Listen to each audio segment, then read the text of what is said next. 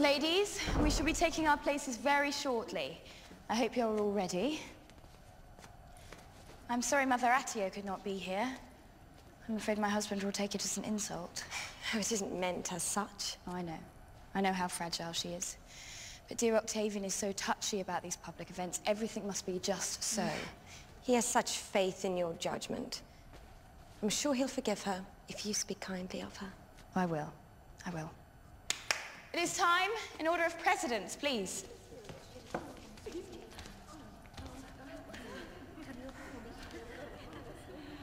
Hello, ladies.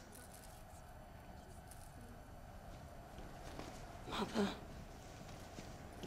Yes, here I am. Let's just get this charade over with shall we? Excuse me. Yes. Oh, I don't mind, really. But it is I should go first.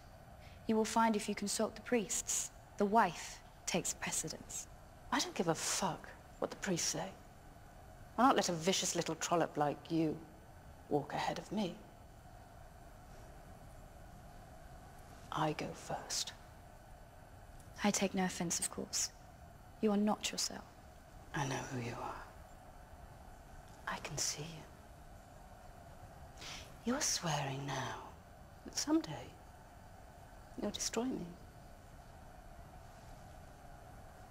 Remember, far better women than you have sworn to do the same. Go and look for them now.